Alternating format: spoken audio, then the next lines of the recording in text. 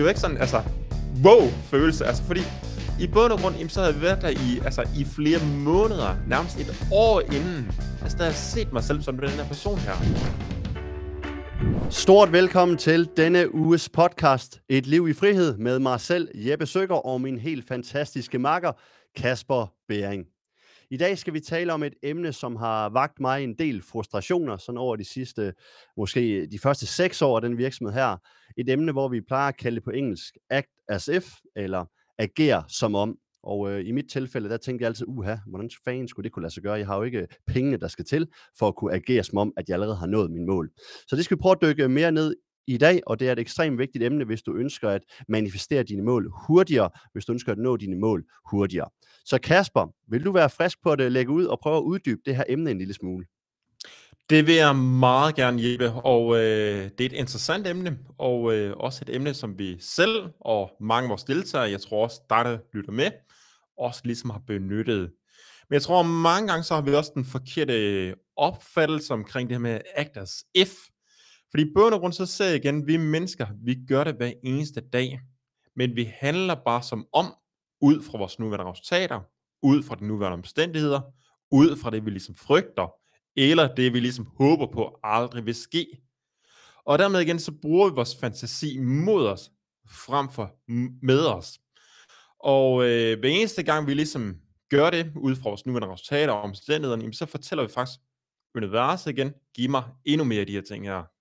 Men hvis vi ligesom begynder at leve ud fra, os igen, det vi ligesom ønsker, så det er ikke, jeg vil tro, mange folk vil sige, mm, så forsøger du at bilde andre folk noget ind, som du ikke er.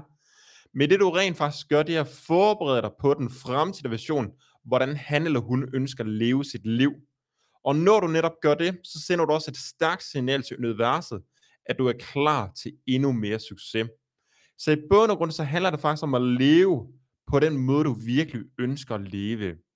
Så det der med at stille sig selv det spørgsmål, hvis jeg ligesom var garanteret, at her i aften kl. 20, eller i morgen, når jeg vågner, jamen så var alle mine mål opnået.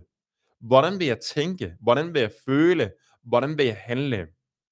Så det handler om det med igen, hvordan er det, jeg ønsker at leve. Ikke i forhold til, hvordan den gamle version af Kasper ønsker at leve, men hvordan jeg virkelig ønsker at leve. Så hvis det i forhold til økonomi, man har et mål, det kunne være 100.000, så virkelig igen stille sig selv det spørgsmål. Hvis jeg har opnået det her, hvordan vil jeg tænke? Hvordan vil jeg føle? Hvordan vil jeg leve dagen i dag? Så det handler rigtig meget igen at komme ind i den her følelse her. Okay, det giver god mening. Jeg kan huske, øhm, da vi startede vores virksomhed ud, os to, tilbage i 2016, der sov vi øh, på et øh, kontor, og så havde vi nogle gange øh, kundemøder lidt ned af, af gangen, og øh, heldigvis så vidste kunderne ikke, eller ved ikke, man kan sige heldigvis, men de vidste i hvert fald ikke, at vi sov på kontoret der, så jeg er ikke sikker på, at der var så mange, der havde købt deres. Men øhm, på det tidspunkt, der følte jeg nok, at jeg ikke var særlig succesfuld, fordi jeg sov på det kontor her. Og jeg tror måske, der er mange, der kan genkende til det, at man har ikke de resultater, som man føler, man har brug for, for ligesom at kunne tro på, at det kan lade sig gøre, eller for at kunne bevise over for andre, at man reelt set kan hjælpe dem. Så kan du prøve at, øh, måske at tage det som eksempel, eller måske bare et eksempel fra dit eget liv, hvordan man ligesom i en situation, hvor man ikke rigtig føler, at man har de resultater, man ønsker, så alligevel kan agere som om.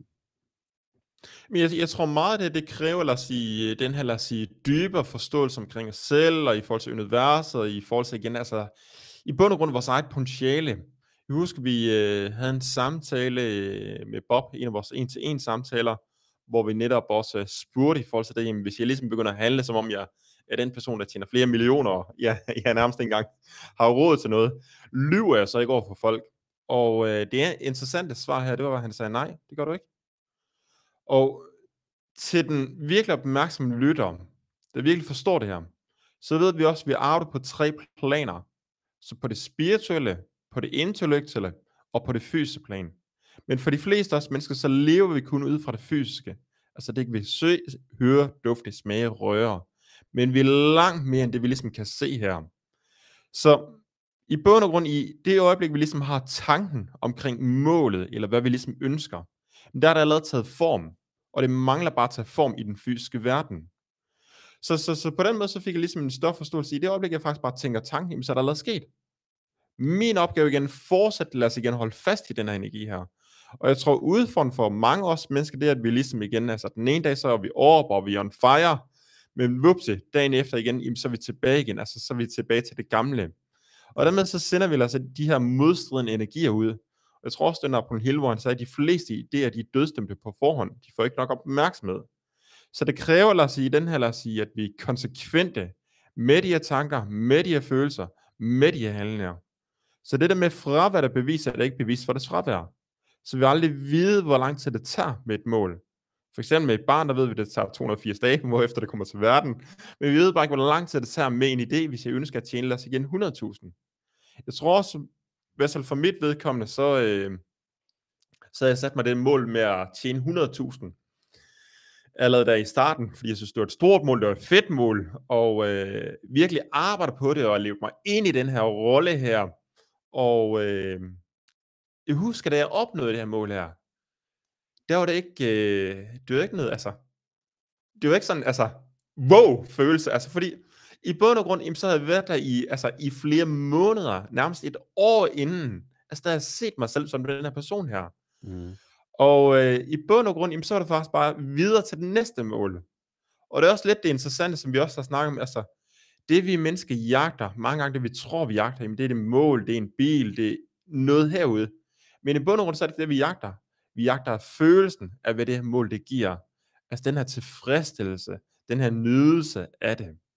Ja, det får mig faktisk til at tænke på et andet eksempel, som du også lige øh, nævner her. En, en pige, der ønskede sig en dukke i julegave, og så, jeg tror hun ønskede sig den seks måneder, inden det blev jul, og hun har fortalt det til sine forældre. Og da hun så endelig nærmede sig jul, så spurgte de, om hun stadigvæk ønskede sig den her dukke her. Hvor så hun svarede, nej, det gjorde hun ikke, og det kunne de ikke forstå. De mente der stadigvæk, hun ville have den dukke her. Men så svarede hun bare, jeg har leget så meget med den i min fantasi. Og på en eller anden måde lidt det samme, du siger her, at vi skal agere som den person allerede, altså tanken går forud for resultatet. Mm.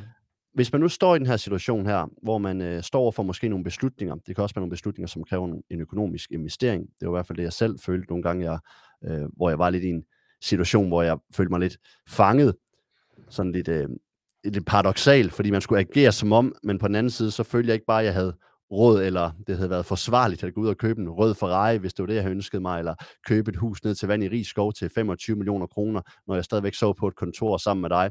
Så hvordan skal det ligesom forstås i den sammenhæng, hvor eksempelvis ikke har de penge, der skal til for at foretage de investeringer? Hvad gør man så? Det er her, hvor jeg tror mange gange, så misforstår vi det. Vi tror, det der med igen, det handler om at købe den her dyre bil. Det handler om at købe det her dyre hus, men det handler ikke om det. Det handler bare igen at tænke og føle, og så igen være, altså igen, netop igen være den her person her. Så det er den her væretilstand, vi ligesom sender ud her. Og i bund og grund, så kan vi jo se andre eksempler, lad os sige, hvis vi ligesom ønsker at tabe os, så vores opgave bliver også at komme ind i den her væretilstand her. Være den her person, der motionerer. Være den her person, der spiser sundt. Fordi først når vi er den her person, der spiser sundt, der motionerer, så vil vi automatisk tabe os. Og sådan er det i forhold til alt. Så det handler ikke så meget, når vi snakker omkring det emne. Nu skal vi ud og købe nogle røde Ferrari og gøre de her ting her. Men bare det med, at vi begynder at leve på vores vilkår. Mm. Og øh, også når du nævner det her, så er det også interessante ting, som vi også selv har snakket om til vores elite-deltagere. Altså det der med at forestille sig, at man er ude og, lad os sige, når vi spiser på en restaurant, og øh, vi bestiller, lad os sige, en menu, som vi godt kan lide, det kan være en pizza, jamen så går der noget tid for, at den her pizza, den kommer. Og i det øjeblik, der sidder vi faktisk bare og nyder, måske over et glas vand eller et glas vin. Og vi ved, at den her pizza, den kommer. Vi ved ikke, hvor lang tid det tager. Det kan være, det tager kvarter. Det kan være, det tager en halv time. Det kan også være, det tager lidt længere tid. Men vi nyder det måske sammen med en god kammerat, måske vores familie. Og den her pizza, den kommer, når den er klar. Og på samme måde er det også med vores mål. Så når vi netop igen har skrevet det her mål ned på et af vores målkort, så igen, så er det allerede sket. Så vi har bestilt det. Og målet det kommer, når vi selv er klar. Når vi tænker, når vi føler, når vi handler på det frekvensniveau. Så det er tilbage til igen, vi kan aldrig præstere bedre end vores nuværende tanker. Og jeg tror, det her, hvor mange af os mennesker, vi, øh, som vi også har snakket om i løbet af den her uge med vores elite deltager, at der er rigtig mange af os mennesker, der misforstår det med at have truffet en beslutning med et ønske eller med en vilje. Så en beslutning, det betyder, at igen, det er allerede sket. Vi lever allerede derfra. Så det øjeblik, vi ligesom har nedfældet det mål, der er der allerede sket. Skabelsen er sket. Det er ikke et spørgsmål, der kommer til at ske. Det er sket. Og dermed igen, så har vi fuldstændig ændret vores egen tankfrekvens. Vi er langt mere følelsesmæssigt involveret i den nye version af os selv, frem for de nuværende resultater, de nuværende omstændigheder. Vil du ikke prøve øh, også at fortælle nogle af de succeshistorier, vi har fra nogle af vores elite-deltager, i forhold til, at man ligesom er stoppet med ligesom at lade sig influere i forhold til de nuværende resultater, de nuværende omstændigheder og den gamle historie, til man ligesom bliver langt mere, lad os sige, følelsesmæssig kontrol, og faktisk bare begynder at nøde livet efter, hvad man selv ønsker. Jo, jeg kan huske um, en af vores øh, deltagere, han var IT-konsulent, det er han stadigvæk. Og um, jeg tror, da han startede hos os, der var han stadigvæk i et fast arbejde. Og øhm, så træffer han så den her beslutning om at gå ud og være selvstændig, som, en, som, en, som følge af, ikke nødvendigvis kun forløbet her, Diamond Rich Club, men altså hvor han ligesom begyndte at agere lidt mere som den person, han ønskede at være. Men det, der rent faktisk var det helt store spring for ham, fordi inden for IT-konsulentbranchen, der er det typisk sådan, at man sælger sine timer, og han kan ikke rigtig tage særlig mange, som solgte andet end deres timer. Men på et tidspunkt, så sagde han, at jeg er træt af at sælge mine timer. Nu begynder jeg bare at agere som person, der kun sælger løsninger. Og det var, øh, det var på en måde svært for ham, fordi alle andre i branchen, de sælger timer. Og jeg tror mange, som kan genkende til det, måske er de inden for samme branche eller lignende branche, de vil også forstå, at det typiske spørgsmål det er, hvad tager du i timen? Så for ham lige pludselig at begynde at agere på den måde, det var svært. Det var en udfordring for ham. Men han gjorde det, og lige pludselig så var han i stand til at sælge sine ydelser, sine services til en langt højere pris og med langt færre timer. Så det var et eksempel, hvor du bare tager dit professionelle embede. Jeg husker også samme personer, der kan jeg nævne mange af vores kunder, hvor de på en eller anden måde ofte har den her tendens til at sige, når jeg får bedre tid, altså når, jeg, når min virksomhed kører lidt bedre, så har jeg tid til at gå i fitnesscenteret, eller så har jeg tid til at bruge mere tid sammen med min familie. Men igen, det er en fejl, fordi vi skal begynde at agere som den person, vi virkelig ønsker at være. Og hvis den person, der virkelig er succesfuld, lukker sin computer kl. 14 eller kl. 16, er sammen med sin familie, de næste 3-4 timer, og så går i fitness om aftenen i stedet for at arbejde, eksempelvis, så er det det, personen den bør gøre. Fordi hvis ikke, så er vi lidt tilbage til noget, det vi har talt om tidligere, den her dobbeltbindende besked, så sender vi en modstridende besked til os selv. Vi siger et, men vi gør noget andet. Hvad der så kan hjælpe den person, det er at være langt mere effektiv i sin arbejdstimer. Vi taler om det, vi kalder for the big five, altså de store fem, de vigtige fem timer. Så i stedet for, at man hele tiden tror, at man skal arbejde i døgndrift, jamen så agerer som den person, som er effektiv. Og ofte så er det her, når vi begynder at træffe de her lidt mere committed beslutninger, de er lidt mere all-in beslutninger, i forhold til, at vi allerede har nået målet, så vil vi også opleve, at vi begynder at arbejde langt mere effektivt, og begynder at tiltrække mange flere af de ting, som vi ønsker i vores eget liv. Jeg husker også for os to, Kasper. Jeg kan huske, det det første spørgsmål, Bob han øh, stillede os. Det var, om vi havde bestilt den her tur. Jeg tror også, du har nævnt det, om vi havde bestilt den her tur over til øh, Toronto i, øh, i, øh, i, i Canada. Om vi havde bestilt den her flybillet på business class. Og vi havde ikke rigtig besluttet os endnu. Fordi på daværende tidspunkt, der følte vi ikke rigtigt, at vi kunne retfærdiggøre for det. Vi havde pengene på kontoen, men det var ikke sådan, det, det boomede. Man sagde, gør det. Ager som person. Og nogen vil så måske sige, jamen, hvor går så grænsen hen i forhold til det her? Lad være med at være øh, nådesløs. Lad være med at være fuldstændig øh, sådan ubetænksom i forhold til dine beslutninger. Men hvis der er små beslutninger, du kan foretage, det kan være, at i stedet for at bestille, nu kan det være, nu sagde Kasper pizzaen, hvis man godt kan lide pizza, så skal man selvfølgelig bestille det. Men lad os nu sige, at man sidder og ser på det menukort, og man så ser, at der er en steak, man gerne vil have i stedet for. Den koster måske 150 kroner mere for at blive mæt. Gør det. Det er de her små beslutninger hver evig det eneste dag, om at leve sig ind i rollen som person, der allerede har opnået sin mål. Og når vi begynder at gøre det, jamen så, så oplever vi en helt anden form for frihed. Og ofte så tror jeg, at mennesker, vi tror, at friheden den kommer, når vi har pengene. Og ja, penge de kan give frihed på nogle punkter. Men den virkelige frihed, det er først, når vi er fri i vores eget sind. Når vi begynder at agere i harmoni med det, vi ønsker, i stedet for at agere i forhold til, hvor vi er, og de resultater, som vi opnår. Smukt, Jeppe. Vil du ikke uh, her til allersidst uh, give en opgave, som uh, lytteren kan gøre her inden næste gang i løbet af næste uge? Jeg vil tage, som Kasper har foreslået, tage et stykke papir, nedfælde dit mål, og så vil jeg spørge den person, der allerede har opnået det mål her. Hvordan vil den person tænke? Hvordan vil den person føle? Og hvordan vil den person leve, agere og træffe beslutninger?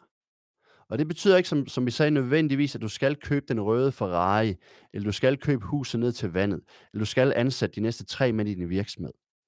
Tag de skridt, du sådan ligesom føler, du kan retfærdiggøre, som giver et øh, positivt afkast i forhold til, hvor du er lige nu. Men begynd allerede nu at agere som den person, der har nået det mål her. Ha' de discipliner, have de standarder, have de vaner, have de overbevisninger. Og det er noget af det mest fantastiske ved det her. Vi har et mål, vi ønsker at opnå. Men det handler ikke om målet. Det handler om den person, vi udvikler os til. Og den person, vi udvikler os til, den kræver ikke, at vi har nået målet. Den kræver blot, at vi bringer vores inderste potentiale til overfladen. Og det potentiale, det besidder vi alle sammen. Så forveksle ikke det her med, at du mangler noget i det ydre for at kunne gøre det her. Du har alt, hvad du skal bruge inde i dig. Spørgsmålet det er bare, om vi har modet til at begynde at agere som den person. Og det er ofte her, hvor det er længere, nemmere at trække sig tilbage, det er nemmere at blive i komfortzone, det er nemmere at agere, som vi er vant til at gøre. Men husk på, at nogle af de metoder, som du er vant til at, bruge, til at bruge, de giver de samme resultater. Hvis du ønsker nye resultater, så er vi også nødt til at begynde at agere på nye måder. Måder, som er i harmoni med den person, vi ønsker at være. Så tag et papir, nedfald dit mål og spørg, hvordan vil jeg tænke, hvordan vil jeg føle, og hvordan vil jeg agere og træffe beslutninger at leve, når jeg allerede har nået mit mål. Og så begynd at gøre det. Begynd at, at act as if. Perfekt. Det var ordene herfra. Tak for det, Jeppe. Ja, lige måde. Hej, hej. Tak for i dag.